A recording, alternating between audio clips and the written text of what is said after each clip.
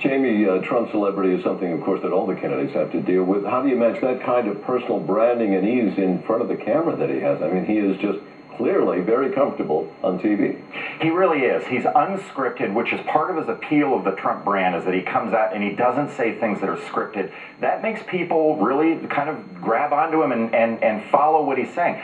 As a as the other politicians that are out there, I'm sure are very frustrated with that because they're saying, hey, when you peel away the onion and get down to the core of who Donald Trump is, is that who you really want? Right now, people are kind of taken by all the, the, the celebrity that goes around it and really possibly not even thinking very deeply about some of his answers because he doesn't go very deep on his answers. And when he's prodded about that and questions are asked about that, he kind of brushes it off. So I agree with Stephen in the sense that sooner or later, all the other people who are voting or at least polling for the other candidates are going to have to make a decision. And whether or not they jump on the Trump bandwagon is a question that remains to be seen. I would suspect that a lot of those people might find other candidates to, uh, to, to back. You know, part of the conversation uh, that you hear from a lot of people is how does Trump get away with it? Well, Rudy Giuliani talked to Wolf Blitzer about that yesterday. Listen to this.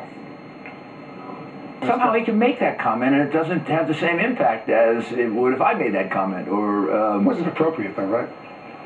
No, you shouldn't be talking about her looks. No, of course not. I mean, it usually gets a candidate in trouble, but it has to tell you something is going on if it doesn't get him in trouble. There's something that the public sees here. And I think it's it's probably the fact that he's uh, talking to them straight.